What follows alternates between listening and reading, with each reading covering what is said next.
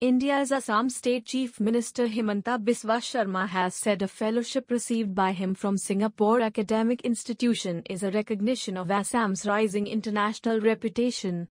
Sarma recently received the esteemed Lee Kuan Yew Exchange Fellowship in recognition of his outstanding contributions to public service. The Singapore government invited the Chief Minister of Assam to come as a Lee Kuan Yew Fellow in recognition of his potential contributions to the development of India and for improving bilateral relations with Singapore. The fellowship was established in the name of Lee Kuan Yew's contributions to the country as Singapore's first Prime Minister. The fellowship is under the patronage of the Prime Minister of Singapore.